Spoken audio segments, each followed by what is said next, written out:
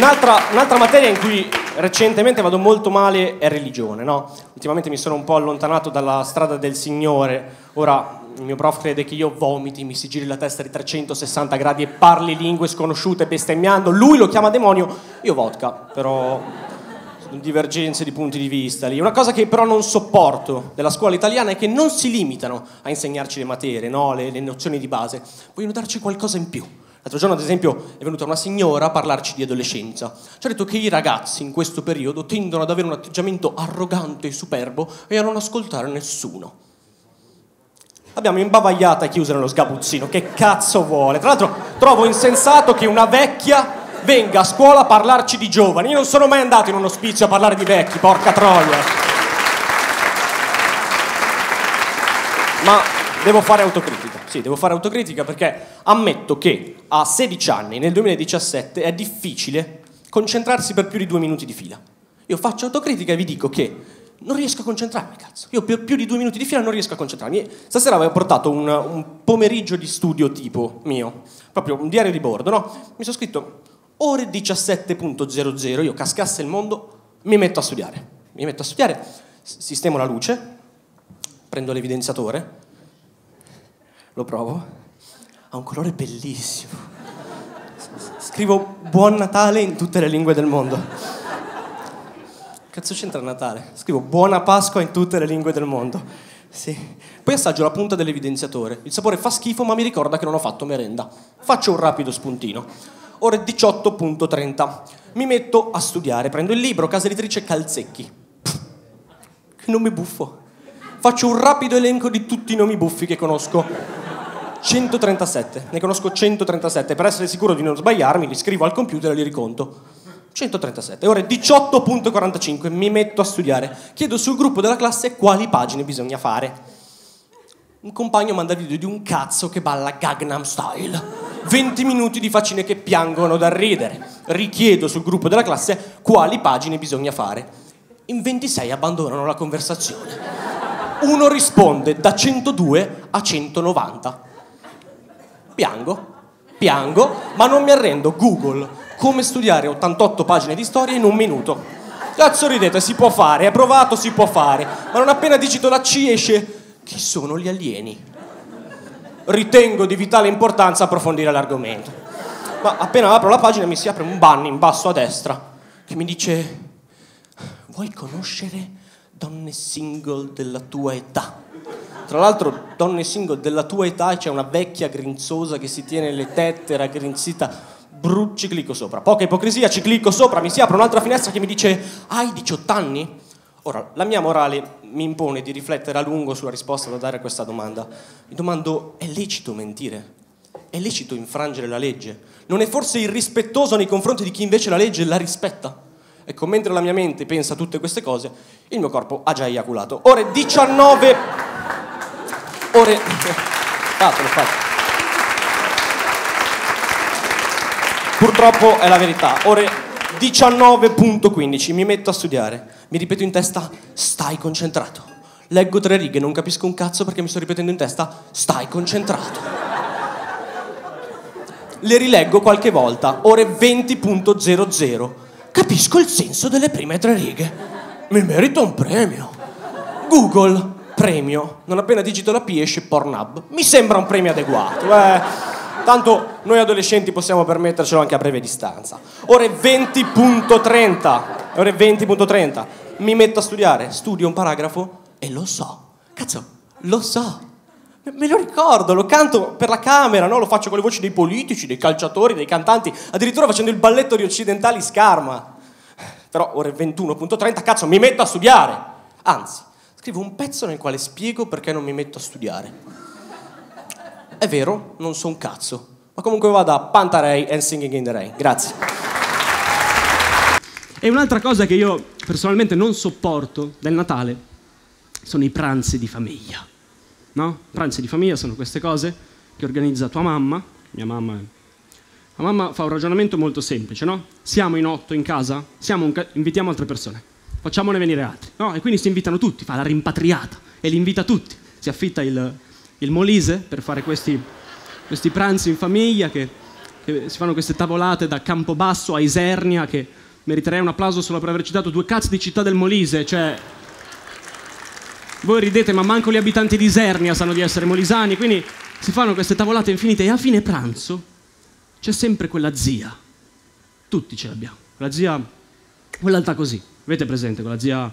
Ce l'abbiamo tutti, quella zia alta così, brutta, molto brutta. Ce l'abbiamo tutti, ce l'avete presente per forza, quella zia alta così, molto brutta, coi baffi.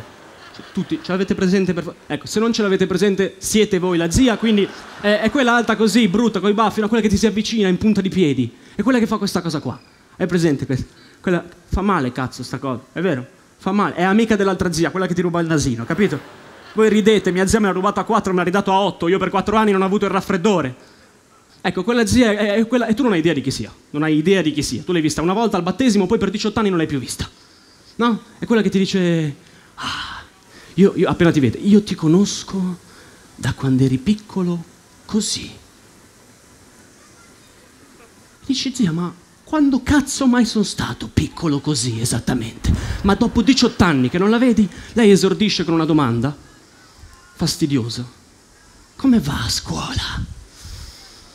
Domanda invadente, domanda veramente, non c'è motivo di porre questa domanda a un diciottenne, non che io abbia dei problemi con lo cioè io studio, io studio poco. No, dai, non, non è vero, non, non studio un cazzo. E faccio un classico, una, una scuola pubblica che cade a pezzi, che tra l'altro funziona anche al contrario, no? cade a pezzi una scuola pubblica, un classico. Questa arriva con calma, mi rendo conto. No, no, ma vi lascio il vostro tempo perché è giusto. E devo dire che, no, a me piace anche, ho fatto la quarta superiore l'anno scorso, devo dire bella classe, mi è piaciuta, ho, ho pensato di rifarla. E professori d'accordo all'unanimità, quindi la sto rifacendo, ma quindi come va a scuola? È una domanda invadente, è una domanda fastidiosa, domanda alla quale io rispondo con un bene, no? Di cortesia. E loro fanno sempre la stessa battuta. E chissà come mai rispondono sempre bene. E vedi, zia, io rispondo sempre bene per il tuo bene. Perché dal momento che ai miei occhi sei una perfetta sconosciuta, la domanda come va a scuola è un tantinino invadente. Anche tu risponderesti bene se ti chiedessi come va, che ne so, la tua secchezza vaginale, capito? Perché se non vuoi una risposta di cortesia, a me sta bene. Siediti di fronte a me e io ti spiego serenamente come va la mia scuola. Vedi, io domani sono interrogato su Kant. E non ho ben capito che cosa Kant critica Hume, perché vedi, Kant pretende l'esistenza di una conoscenza a priori, ma in questo modo non supera Hume, in quanto sostituisce il suo scetticismo giustificabile con una soluzione convenzionale fittizia. Ma se vediamo il nocciolo del contrasto, Kant critica Hume per aver considerato il concetto di causa falso e ingannevole, e per parlarne nei termini più miti, un'illusione scusabile, in quanto l'abitudine, una necessità soggettiva di percepire spesso certe cose con le loro determinazioni l'una accanto dopo l'altra, è presa senza avvedersene per una necessità questa volta oggettiva di porre tale connessione tra gli oggetti stessi. Quindi, alla luce di tutto questo, mia cara zietta, converrai con me che la tua secchezza vaginale sia drasticamente peggiorata, cazzo! Questo, questo è quello che vorresti risponderle, ma ti trattieni, non lo fai. Però mi sento comunque di darvi un consiglio dal cuore. Ecco, se vi capitasse di fermare un adolescente per strada per chiedergli come va a scuola, ecco, non stupitevi se doveste rispondervi secchezza vaginale, ma soprattutto ascoltate il mio vero consiglio che è eh, fatevi i cazzi vostri, che tra l'altro è il consiglio che ha dato Hume a Kant. Grazie. Gli inglesi, tra l'altro, hanno un termine no, per definire l'adolescente, che è teenager, no, che è molto semplice lì. Se nella tua età hai contenuto il teen, sei un adolescente, no? 16, 17, 18, 19. Ora io ne ho fatti 20. Quindi in teoria mi confermate che cioè, non, non sono un adolescente. No, è è finita. Quindi, cioè, tra l'altro io mi sono sempre chiesto come funziona il passaggio dall'adolescenza all'età adulta, cioè come da un giorno all'altro, da, da, mezzanotte, il giorno prima hai dei debiti scolastici, il giorno dopo hai dei debiti economici, così, no? Eh, me lo sono sempre chiesto, però io arrivato a vent'anni, in qualche modo ho provato a, a guardarmi indietro no? e a cercare di, di, analizzare la mia adolescenza e mi sono reso conto che l'adolescenza è un, è un periodo complesso, no? Sarete d'accordo che è un periodo difficile per, per alcune frasi in particolare che ti senti dire, tre soprattutto. La prima terribile ha chiamato la scuola. Che, che dici, ma tutta? Come cazzo, cosa... Cioè, sono importanti allora, no? La seconda orribile è, ha richiamato la scuola. E la terza, forse la peggiore, a me piace dirla senza neanche spiegarla, proprio buttarla lì, è, non mi sento pronta.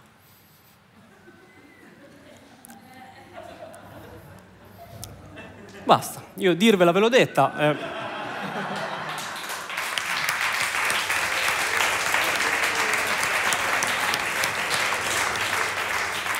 Basta, proprio...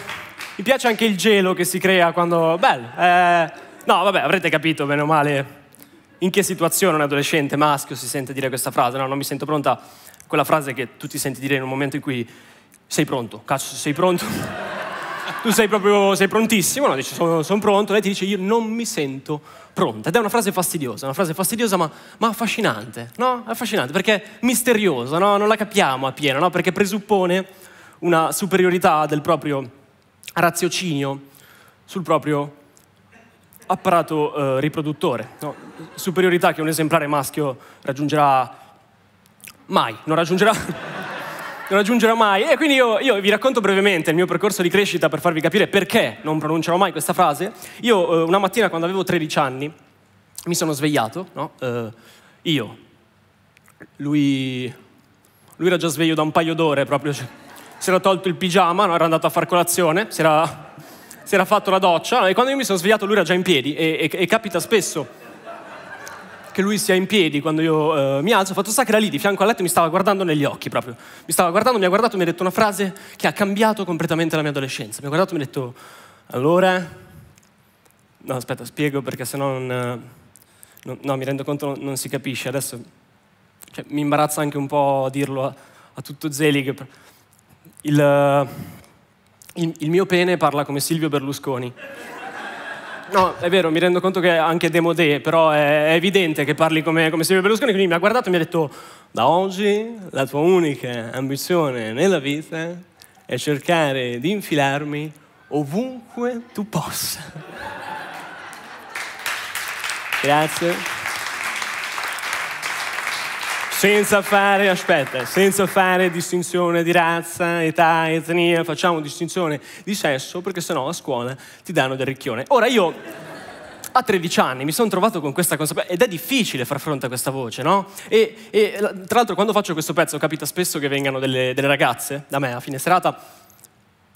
Beh, di solito capita, ora stasera non, non so se succederà, però fatto sta che l'altra sera è venuta questa mia coetanea, no? Avete presente come parlano le, le, ragazze della mia età? La gran parte delle, viene da me questa, questa ragazza e mi dice, cioè, comunque nel senso, no? Cioè, cioè nel senso, boh, cioè, tipo... Cioè, tipo, boh, nel senso, no? Capito? Cioè, nel, nel, ho detto, guarda, così non capisco. Cioè, faccio... C'è un problema di comunicazione, metti un soggetto, un verbo qua e là, capito? Facciamo che mi mandi un messaggio. Ah, dai, magari un vocale. Eh no, un vocale siamo da capo, capito? No, dico, cioè, nel senso, secondo me, cioè, tipo, boh, cioè, nel senso, tipo che noi ragazze, comunque, secondo me, secondo me, tipo, boh, no? Noi ragazze abbiamo le stesse identiche pulsioni sessuali che avete voi.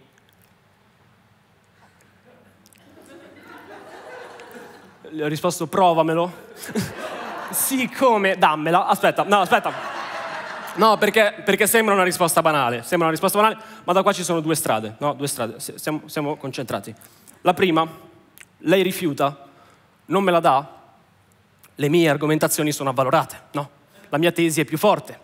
Seconda strada, lei accetta, me la dà, cosa minchia me ne frega delle mie argomentazioni, capito? C'è tutto un... Uh, un senso logico dietro questa cosa. In realtà eh, il motivo per cui sono qui stasera è un, è un po' delicato, è una cosa un, un, po' sensibile che io stasera vi dico per la prima volta, è un, è un peso che mi porto dentro da, da, tanto tempo e stasera sto trovando il coraggio di, di dirvelo, insomma di fare, come si dice, coming out in qualche modo.